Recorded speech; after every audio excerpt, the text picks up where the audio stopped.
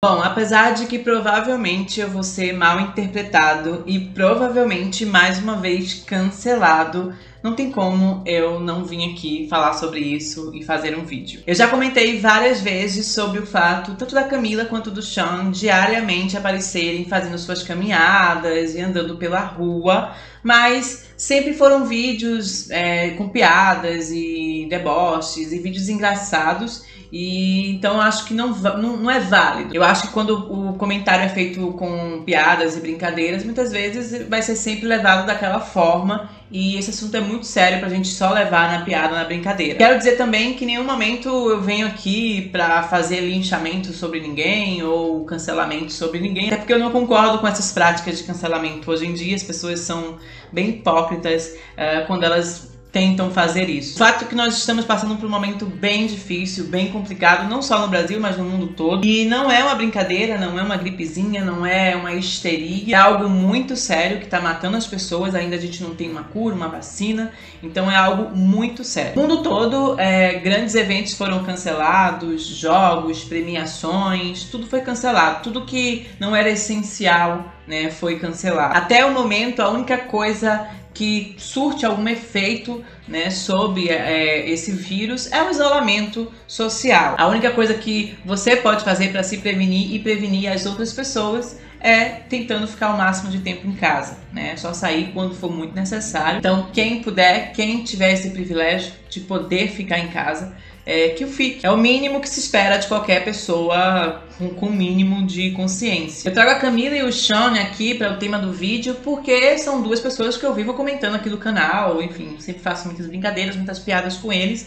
E eles hoje eles nos dão um grande exemplo do que não deve ser feito diante de toda essa história, de tudo que está acontecendo no mundo. É muito importante que vocês prestem bem atenção, porque eu não estou discutindo aqui talento, índole. Estou falando aqui diretamente do que deve ser feito, o que não deve ser feito diante dessa situação. Contrariando todas as normas, todas as orientações, tudo que, enfim, estão nos passando, né? A Organização Mundial da Saúde, os médicos, os cientistas especiais, contrariando todas essas pessoas, o Sean e a Camila diariamente fazem suas caminhadas matinais. Eu já vi pessoas dizendo, ai, mas é uma recomendação médica, eles precisam caminhar, né? Eles precisam pegar o sol ali, vitamina D, e pipipipopopó. Bom, para mim é muito mais simples do que se parece com o dinheiro que a Camila e o Sean têm, com a casa que ela tem, né, que é onde eles estão no momento, é, seria muito fácil todos os dias eles pegarem esse sol, a vitamina D de manhã, né, ali no quintal, na beira da piscina. Quem não gostaria, né? Eu mesmo gostaria de ter aí uma grande casa com um grande quintal, um grande, um grande espaço que eu pudesse fazer isso tudo né? Andar, precisa andar? Anda pela casa, anda por esse quintal, né? Dinheiro não vai faltar para você comprar uma, uma esteira, né?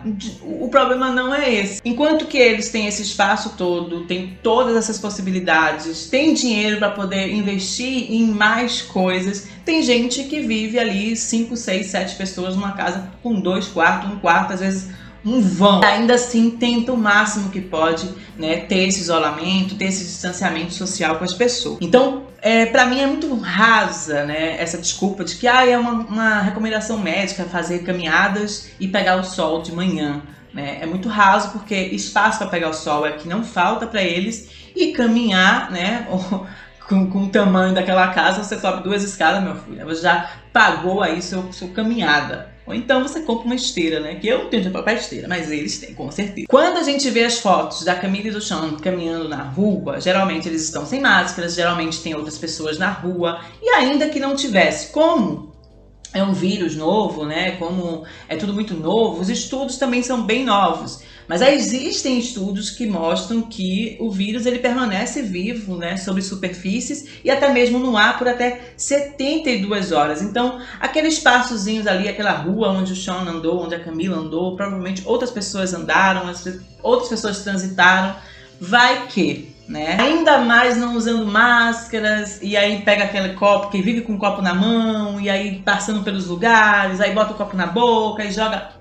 Você tá entendendo que o negócio é muito mais além? Repito, a gente não tem todas essas informações porque os estudos ainda são muito novos, mas o que a gente precisa fazer, né, é tentar seguir as recomendações mínimas, pelo menos, tentar minimamente, sei lá, diminuir ou fazer alguma coisa para diminuir né, todo o dano que o vírus está causando. Recentemente, o que causou muito murmurinho ali pela internet foi o Sean e a Camila no mercado. Mas ali eles estavam né, seguindo todas as recomendações. Estavam de máscara, se não me engano, até luva colocaram, enfim.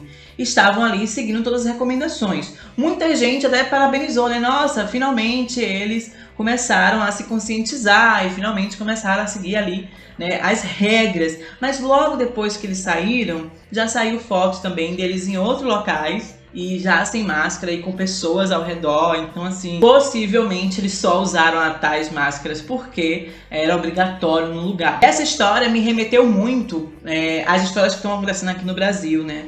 Porque eu vivo postando no Twitter e dando RT em alguns bolsomínios que vão nos lugares e não estão com máscaras e são barrados e aí fazem vídeos fazendo escândalos porque não querem usar máscara e que pipipi, popopó. Existem muitas pessoas que não acreditam no vírus e que não acreditam em nada e querem sair da forma que quiserem, querem entrar onde quiserem e não querem usar as máscaras, não querem uh, seguir as recomendações. Então, como eu sempre falo disso, né, no Twitter principalmente, uh, seria bem hipócrita da minha parte ver essas atitudes ali do Sean e da Camila, né, no mercado usando porque era necessário e aí logo que sai você tira a máscara e você tá em um convívio de outras pessoas. Seria bem hipócrita eu criticar os bolsominions e não criticar essa atitude aí uh, do Sean e da Camila. Eu vi gente já defendendo essas atitudes, dizendo que lá nos Estados Unidos é uma lei para cada estado, então provavelmente não é tão rígido assim. Só que assim, gente, Estados Unidos estava morrendo mais de mil pessoas por dia né?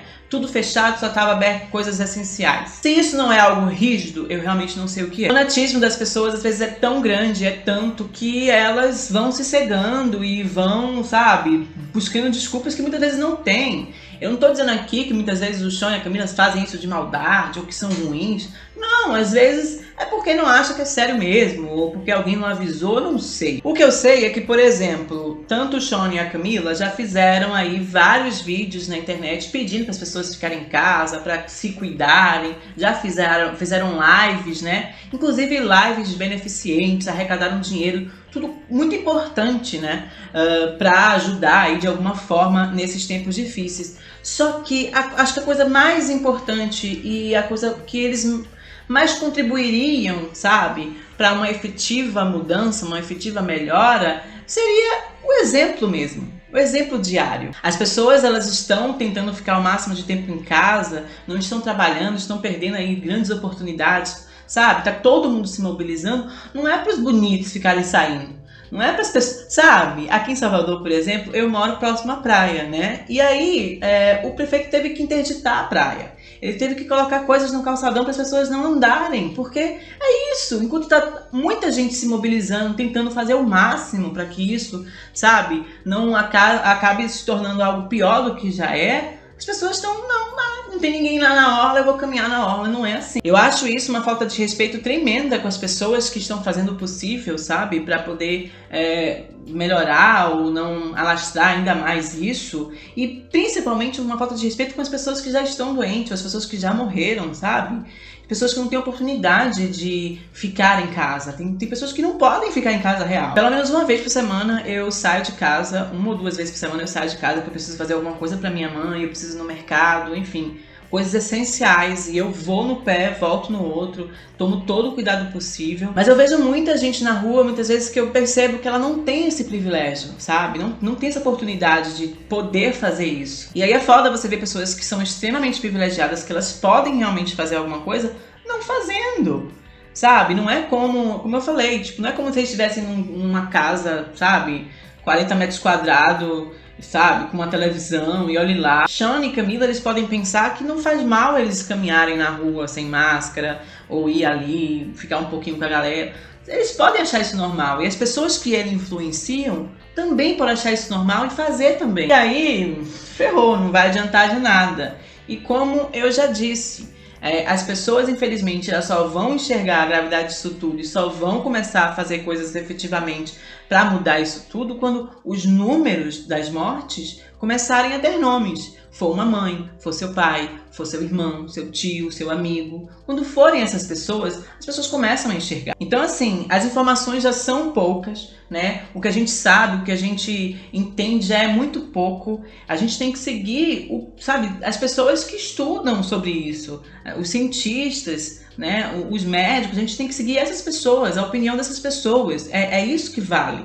Não a opinião do que o Sean acha, do que eu acho, do que a Camila acha. A minha intenção desse vídeo é justamente mostrar para vocês que sim, vocês podem gostar do Sean, da Camila, a gente pode ser fã, curtir as músicas, mas a gente não pode perder uh, o senso crítico, sabe? A gente não pode olhar para essas pequenas coisinhas e achar que, tipo, ah, não, de boa, eles não estão fazendo mal, não vai, não vai acontecer nada. Não, eles influenciam milhões e milhões de pessoas. Se eles fazem vídeos dizendo para as pessoas ficarem em casa, sabe, que as pessoas se cuidem, se eles precisam da máscara na, no, no mercado, eles estão sabendo que normal não está. E não só o Sean e a Camila estão fazendo isso, mas deve ter outros cantores e, ah, enfim, influencers fazendo isso, né? A gente já viu no Brasil algumas coisas.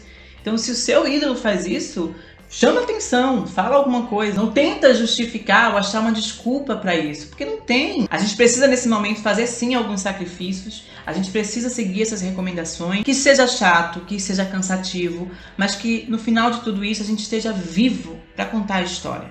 A gente se vê no próximo vídeo, então é isso. Falou. Já vou.